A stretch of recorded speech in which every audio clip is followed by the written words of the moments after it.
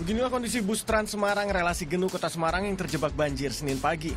Mesin bus mogok setelah berusaha menembus banjir di bawah jalan layang Kaligawe. Puluhan penumpang terpaksa turun usai terjebak selama setengah jam. Bahkan sejumlah penumpang berusia lanjut harus dibantu melewati terjangan air. Tentu saja para penumpang yang akan beraktivitas menjadi terhambat. Nah itu om tiba-tiba mogok soalnya mesinnya kena air. Oh, lam- Terendam lam- lama nggak? Lama, nyampe setengah jam Sempat panik nggak tadi? Juga. Oh, ini tadi Mau kuliah juga. Mau kuliah? Kuliah. Telat.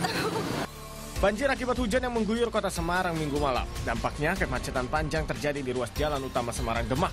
Pengguna jalan pun tak mungkin memaksakan melalui banjir karena tingginya air.